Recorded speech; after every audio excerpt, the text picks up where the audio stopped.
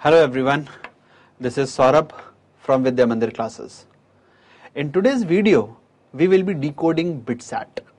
आज के इस वीडियो में हम लोग बिटसेट के बारे में बात करेंगे इससे पहले कि हम लोग बिटसेट के बारे में बात करनी शुरू करें अगर आप लोगों ने अभी तक हमारा विद्या मंदिर यूट्यूब चैनल को लाइक और सब्सक्राइब नहीं किया है तो उसको लाइक और सब्सक्राइब कीजिए और बेल आइकन प्रेस करना मत भूलिए जिससे कि आपके लिए नोटिफिकेशंस आते रहें चलिए बात करते हैं बिट सेट के बारे में छोटे से छोटी से लेके बड़ी से बड़ी जानकारी की each and every information related to the BITSAT exam तो let's see what all is there in BITSAT exam तो देखते हैं आइए बिट सेट एग्ज़ाम में क्या क्या होता है कैसे एग्ज़ाम होता है आ, क्या क्या चीज़ें उसके अंदर होती हैं किस तरीके से आ, क्या उसका पैटर्न है क्या हमें उसमें करना चाहिए क्या हमें उसमें नहीं करना चाहिए किस सब्जेक्ट में कौन से टॉपिक्स इंपॉर्टेंट हैं, कौन से टॉपिक्स कम इंपॉर्टेंट हैं लास्ट के दस सालों में किस तरीके से क्वेश्चंस पूछे गए हैं, वो हम लोग सारी सारी बातें इसमें करेंगे और बिट सेट के अंदर एक सीक्रेट एक चीज़ भी होती है, उस सीक्रेट के बारे में भी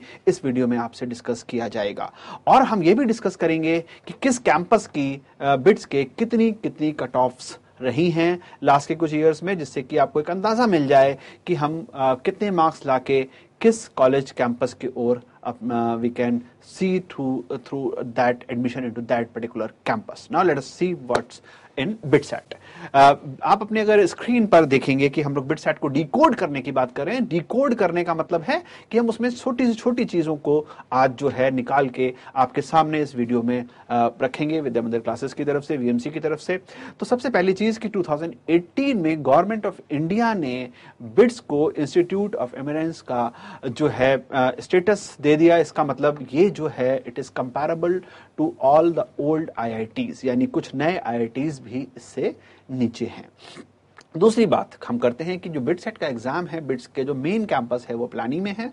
उसके अलावा इसके जो कैंपसेज हैं that are in Goa Hyderabad and Dubai जो बिट सेट एग्ज़ाम है that covers the three campuses that is Pilani Goa and Hyderabad in तीन कैंपसेस को जो है बिट सेट का एग्ज़ाम जो है, वो कवर करता है। Now let us see the basic information about BITSAT BITSAT के जो बेसिक इंफॉर्मेशन है, वो कहती है कि बिटसेट के बारे में सारी जानकारी आपके सामने स्क्रीन के ऊपर है।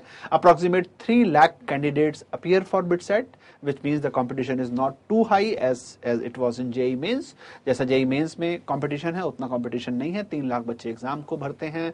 टेंथ में तक आपके पास जो है इस बार एडमिट कार्ड्स आ जाएँगे। आपका जो एग्ज़ाम का सेशन है, वो ट्वेंटी सिक्स मई तक है। उसके बाद आपके पास जो है रिज़ल्ट का डेट है, काउंसलिंग की डेट है। इसमें जो एक इंपॉर्टेंट क्वेश्चन जो लोगों के दिमाग में रहता है कि एलिजिबिलिटी क्या है।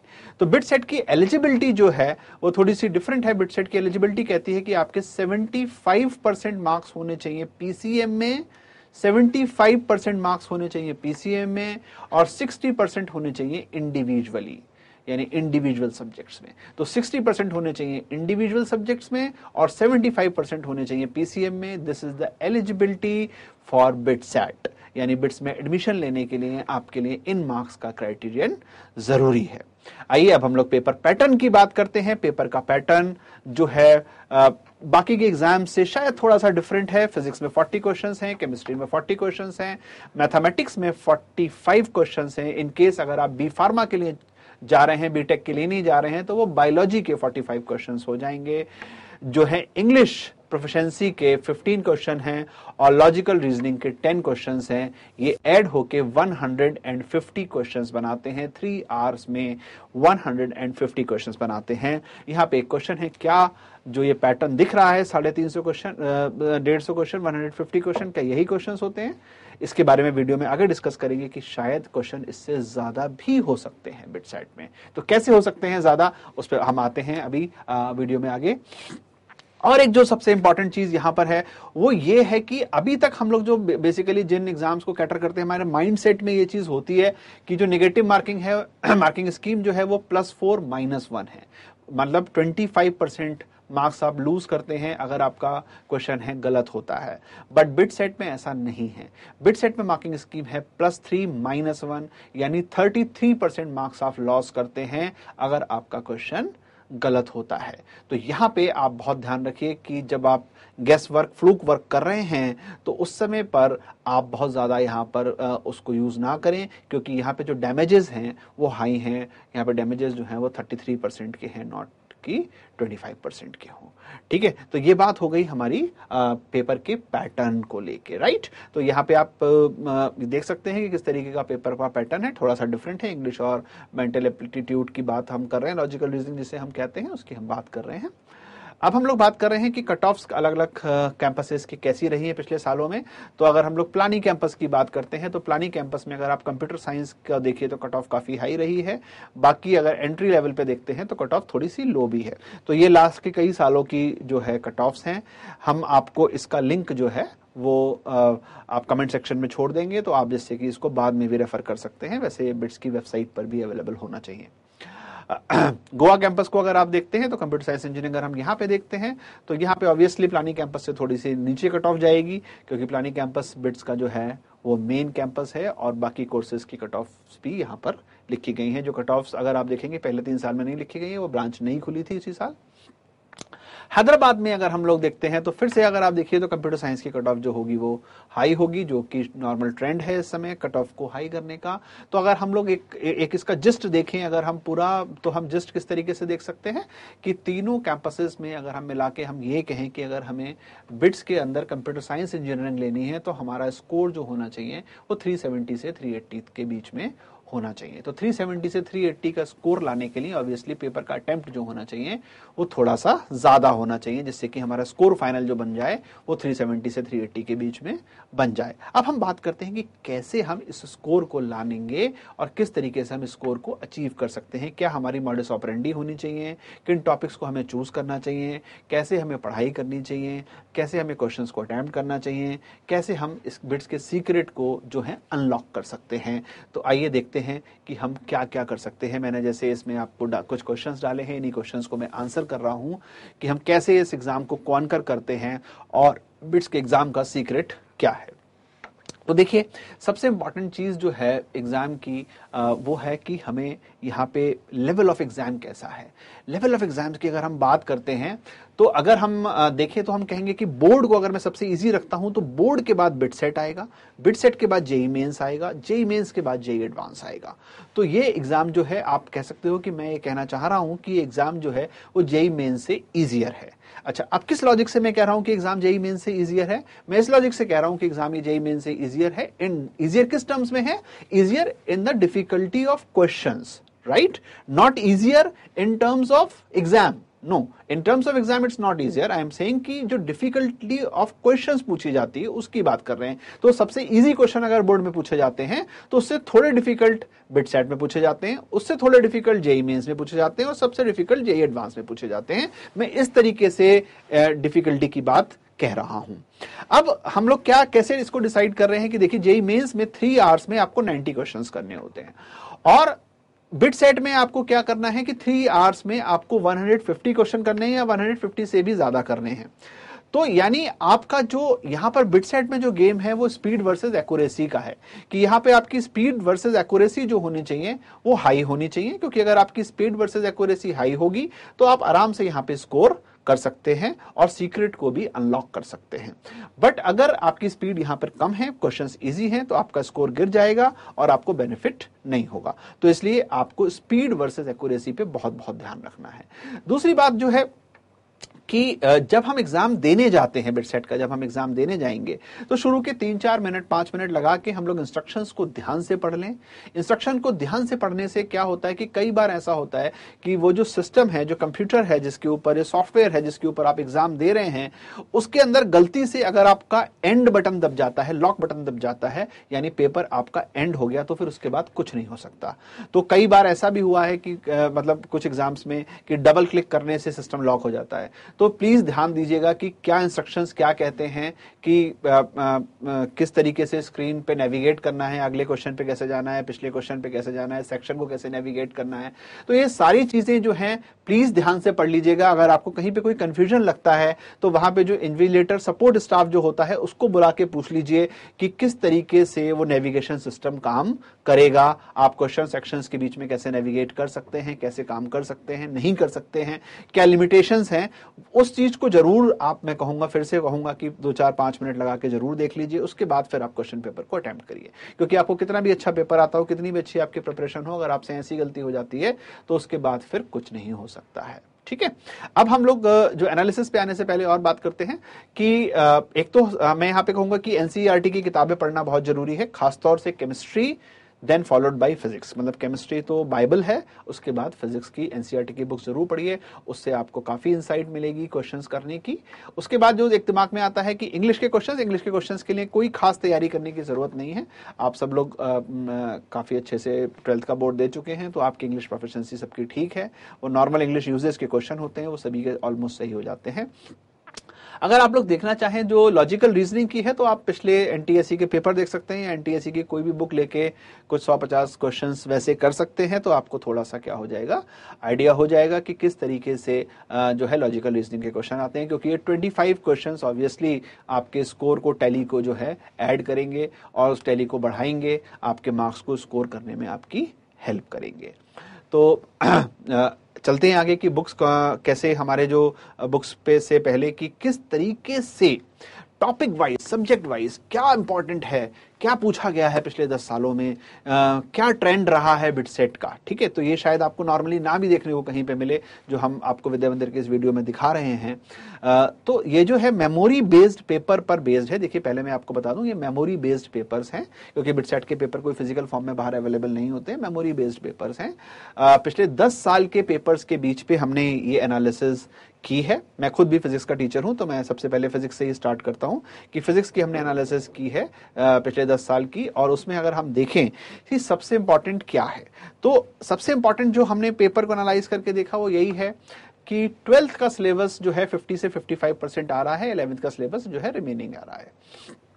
तो ट्वेल्थ का सिलेबस जो इतना अच्छा आ रहा है फिजिक्स के अंदर, अगर हम लोग खासतौर से बात करते हैं कि जो है आपके 20 क्वेश्चन से लेकर 22 क्वेश्चन तक जो है ऑन एन एवरेज ट्वेल्थ के क्वेश्चन से बन जा रहे हैं। अब टॉपिक्स कौन से सबसे इंपॉर्टेंट है? सबसे इंपॉर्टेंट टॉपिक ट्वेल्थ की अगर हम बात करते हैं तो मॉडर्न फिजिक्स जो है, वो सबसे इंपॉर्टेंट है। मॉडर्न फिजिक्स में से सबसे ज़्यादा क्वेश्चन आए हैं।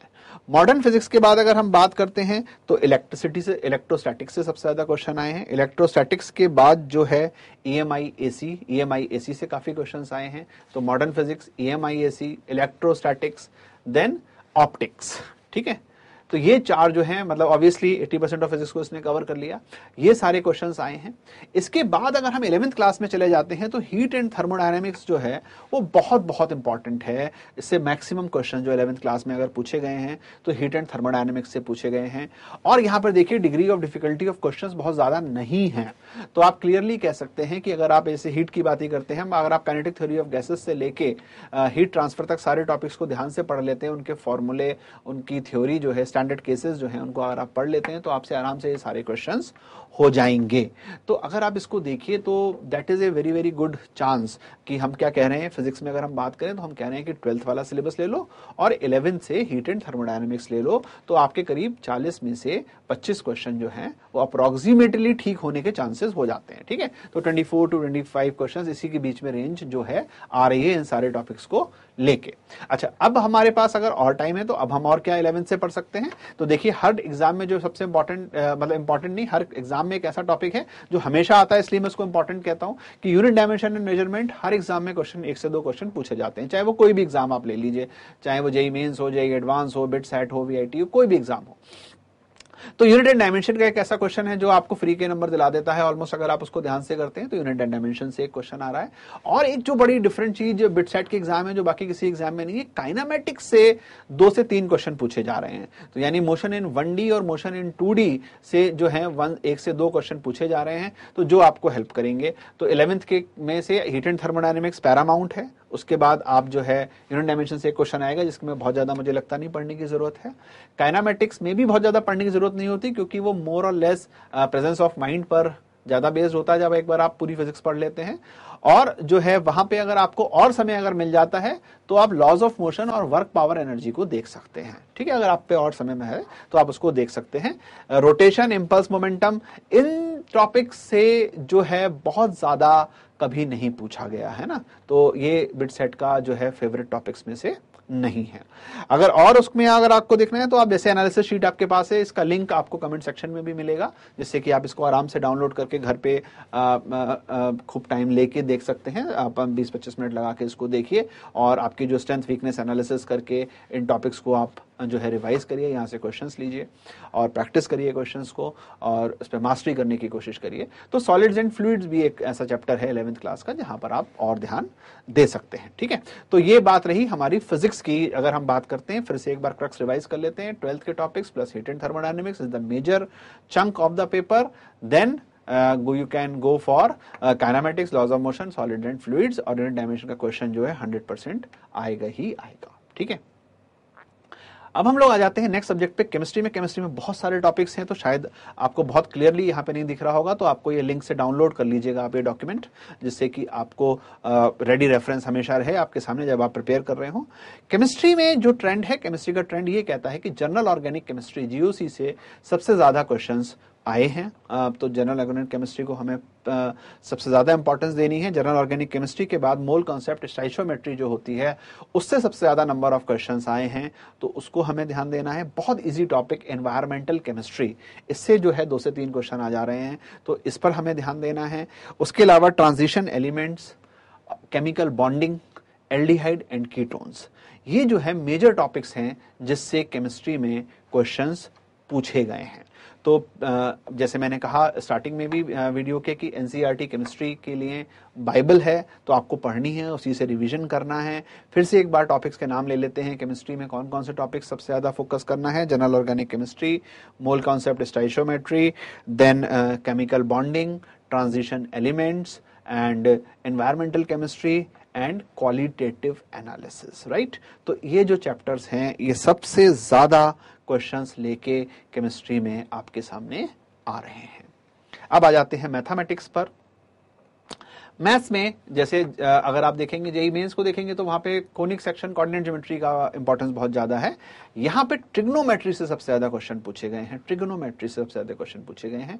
तो ट्रिग्नोमेट्री एंड सेकंड नंबर पे कोऑर्डिनेट ज्योमेट्री कोनिक सेक्शन जिस खास तौर से अगर मैं कहूँ तो ट्रिग्नोमेट्री के बाद कोनिक सेक्शन और ट्वेल्थ क्लास के जो का तो टॉपिक्स हमें लेने ही लेने हैं तो ट्वेल्थ क्लास से जो है जो सबसे ज़्यादा क्वेश्चंस आए हैं, वो लिमिट कंटिन्यूटी एंड डिफरेंशियबिलिटी से आए हैं। लिमिट कंटिन्यूटी एंड डिफरेंशियबिलिटी के बाद क्वेश्चन जो है एप्लीकेशन ऑफ़ डेरिवेटिव्स से आए हैं। एप्लीकेशन ऑफ़ डेरिवेटिव्स के बाद अगर क्वेश्चन देखेंगे तो इंटीग्रल कैलकुलस से आए हैं। तो इस तरीके से क्वेश्चंस हैं।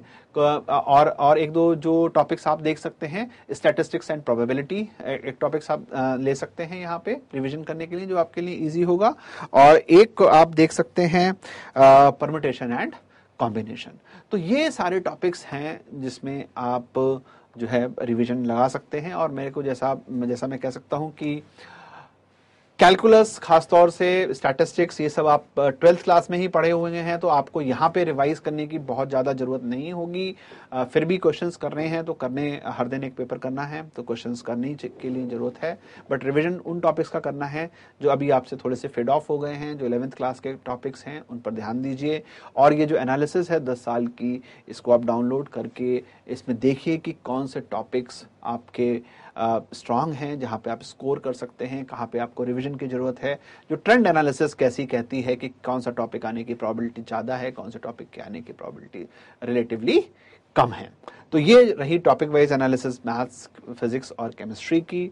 अब अगर हम बात करते हैं कि क्या रेफरेंसेस हमें यूज़ करने चाहिए, देखिए रेफरेंसेस में मेरा मतलब ये है, मैं ये कहना चाहता हूँ कि अब से लेके जब तक आपका बिटसेट का सेशन ना हो, अगर आप टिपिकली बिटसेट के लिए तैयारी कर रहे हैं, जो लोग एडवांस के लिए तैयारी कर रहे हैं, वो एडवांस के लिए तैयारी एज इट इज़ करते हैं अगर बिटसेट को फोकस रख रहे हैं तो एटलीस्ट एक पेपर देने की रोज कोशिश करिए क्योंकि यहाँ पे स्पीड का पूरा गेम है।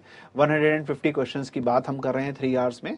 तो एक तो ये बिट सेट की गाइड आती है जो पेन एंड पेपर वाला अगर आप प्रिपरेशन कर रहे हैं आ, मतलब अगर आप घर पे बैठ के ऐसे ही बुक से पढ़ना चाहते हैं तो ये ले लीजिए। वरना विद्या मंदिर क्लासेस की भी एक सीडी आती है जो बिट सेट के सेम प्लेटफॉर्म पर होती है जैसा बिट सेट का प्लेटफॉर्म है। इसके अंदर भी मॉक टेस्ट हैं। तो आप इस सीडी को भी ले सकते हैं ये सीडी अवेलेबल है ऑनलाइन तो ऑनलाइन प्लेटफॉर्म से आप इस सीडी को प्रिक्योर कर सकते हैं, या तो इसमें आपको टेस्ट जो है ऑनलाइन मिल जाएँगे वैसे ही जैसा बिट सेट के अंदर टेस्ट आते हैं। तो मेरा रेफरेंस यही है। इसके अलावा मैंने आपको बताई दिया कि इंग्लिश के लिए आपको किसी बुक की ज़रूरत नहीं है बहुत ज़्यादा, और लॉजिकल रीजनिंग के लिए आप किसी भी एन टाइप की किताब को रेफर कर सकते हैं, ठीक है? और केमिस्ट्री के लिए खास तौर से एनसीईआरटी और फिजिक्स के लिए भी एनसीईआरटी बिट सेट के एग्ज़ाम के लिए। अब हम लोग आ जाते हैं इस सेक्शन पे जिसकी हमने बात की थी कि सीक्रेट क्या है बिट सेट का बोनस कहाँ से आता है। बिट सेट का एग्ज़ाम ये कहता है, जो कोई और एग्ज़ाम नहीं कहता, कि अगर आप 150 क्वेश्चंस तीन घंटे से पहले कर लेते हैं तो आप बोनस सेक्शन को अनलॉक कर सकते हैं और बोनस सेक्शन के अंदर 12 12 क्वेश्चंस होते हैं। और ये 12 क्वेश्चंस न्यूमेरिकल टाइप बहुत ज़्यादा नहीं होते हैं। तो ये आपके लिए एकदम जो है बोनस हो जाता है, क्योंकि डिनोमिनेटर सेम रहता है। डिनोमिनेटर जो है वो 450 ही है और ये 12 मार्क्स जो है आपके ऐड हो जा रहे हैं। तो ये बहुत बड़ा जो है आपके लिए एक बोनस मिल जाता है, एक प्लस पॉइंट मिल जाता है। इससे बहुत बेनिफिट हो जाएगा। तो अब पहली बात, अब कैसे करें इसको? कब करें, कब ना करें, है ना? क्योंकि ये ऐसी चीज़ें जब भी होती हैं तो ये अपने साथ रिस्क लेके आती हैं। तो हमारी एडवाइस ये है कि अगर आप जो है 140 से 145 क्वेश्चन अगर दो घंटे चालीस मिनट से दो घंटे पैंतालीस मिनट के बीच में कर लेते हैं। If you can attempt if you can do 140 to 145 questions in time span of two hour 40 minutes to two hour 45 minutes then obviously you can unlock this section तो उस समय पर क्या होगा कि आपको सिर्फ़ पाँच या आठ क्वेश्चन के अंदर फ्लूक वर्क गैस वर्क का काम करना होगा। मैं ये कहता हूँ कि कभी भी ये गलती मत करिएगा कि आपसे 120, 130 क्वेश्चन हुए 125 क्वेश्चन हुए और आप 25 क्वेश्चन में फ्लूक वर्क करके और इस सेक्शन को ओपन करने की कोशिश कर रहे हैं। नहीं बिल्कुल भी ऐसे मत करिएगा क्योंकि अगर आप ये करते हैं तो यहाँ पर आप जानते हैं कि डैमेज जो है वो 33 परसेंट का है। तो अगर आपने ऐसा कर दिया तो आपका बहुत ज़्यादा डैमेज हो जाएगा। तो 140 क्वेश्चन प्लस अगर आप कर ले रहे हैं तो आप ज़रूर इस चांस को लेके देख लीजिए 140 45 क्वेश्चंस को अदरवाइज़ इस चांस को लेके बिल्कुल मत देखिए। दूसरी बहुत इंपॉर्टेंट चीज़ कि एक बार आप पेपर एंड कर देते हैं पेपर को लॉक कर देते हैं। पेपर को एंड कर देते हैं पेपर को लॉक कर देते हैं और आप इस बोनस सेक्शन में चले जाते हैं। तो आप वापस पेपर में नहीं जा सकते। देर इज़ नो मेथोलॉजी कि आप वापस उस पेपर में जा सके। तो इसलिए जब आप पेपर को लॉक कर रहे हैं एंड कर रहे हैं तो ध्यान रखिए कि आपने अपने आप को 100 परसेंट कन्विंस कर लिया है इस बात के लिए कि अब आप वापस पेपर को नहीं देखेंगे आप बोनस सेक्शन के अंदर जा रहे हैं उन बारह क्वेश्चन को अटेम्प्ट कर रहे हैं जिनसे आपके मार्क्स जो है बूस्ट कर जाएँगे और आपको जो है जो आपकी मनचाही ब्रांच है कंप्यूटर साइंस है या जो भी है वो बिट्स प्लानिंग में आ, मिल जाएगी। जो भी आपका अपना आ, जो, आपका जो व्यू हो जिस कैंपस में आप जाना चाहते हो जिस ब्रांच को आप लेना चाहते हो ज़रूरी नहीं है कि हर बच्चा कंप्यूटर साइंस इंजीनियरिंग ही लेना चाहता हो। बहुत सारे बच्चे अलग अलग तरीके के माइंड से इंजीनियरिंग की प्रिपरेशन करते हैं और उनका जो ड्रीम होता है, वो उसको प्रोक्योर करते हैं। ठीक है? तो हम ऐसा कुछ नहीं कह रहे कि आप बिट सेट में आपको कंप्यूटर साइंस ही लेनी है। आपको जो भी आपकी इच्छा है, वो आप उसके हिसाब से तैयारी कर रहे हैं। तो ये जो है हमारे मेन पॉइंट्स थे जिसको हमने डिस्कस किया। सारी एलिजिबिलिटी आपको बताई बिट सेट के बारे में आपको जानकारी दी, कैसा एग्ज़ाम होता है, कैसा एग्ज़ाम पैटर्न होता है, किन किताबों से पढ़ना चाहिए, कौन से टॉपिक्स को पढ़ना चाहिए, कौन से टॉपिक्स को नहीं पढ़ना चाहिए। बोनस सेक्शन आप कैसे अनलॉक कर सकते हैं और बोनस सेक्शन कब आपको अनलॉक करना है और कब आपको अनलॉक नहीं करना है मार्किंग स्कीम कैसी है और इसके जो लिंक्स हैं, वो भी आपको कमेंट सेक्शन में हम दे रहे हैं। तो इसका मतलब हमने आपको पूरी तरीके से बिट सेट को डिकोड कर दिया है। उसकी एक एक चीज़ निकाल के आपके सामने रखी है इस छोटे से वीडियो में। और इसी के साथ मैं पूरी विद्या मंदिर फैमिली की तरफ़ से आपको बेस्ट ऑफ़ लक कहता हूँ आपके एग्ज़ाम के लिए। We wish you a very very good luck for your upcoming exam and अगर आपके पास कोई भी क्वेरी इसके बाद होती है तो आप हमें कमेंट सेक्शन में दे सकते हैं, हम उसको आंसर करेंगे। और अगर आप उसके बारे में किसी, इस एग्ज़ाम के अलावा और भी किसी एग्ज़ाम के बारे में जानना चाहते हैं, वो भी कमेंट सेक्शन में लिख सकते हैं। और जो है, हम उसको आपको आंसर करने की पूरा प्रयास करेंगे कि हम उसको एज सुन एज पॉसिबल आपको आंसर कर सकें। एक बार फिर मैं पूरी विद्या मंदिर फैमिली की तरफ़ से आपको जो है, आपके एग्ज़ाम के लिए ऑल द बेस्ट कहता हूँ और फिर से कहता हूँ कि अगर आपने अभी तक हमारा यूट्यूब चैनल लाइक और सब्सक्राइब नहीं किया है तो उसको लाइक करिए सब्सक्राइब करिए और बेल आइकन को प्रेस करिए जिससे कि आपके पास नोटिफिकेशन आते रहें। Thank you so much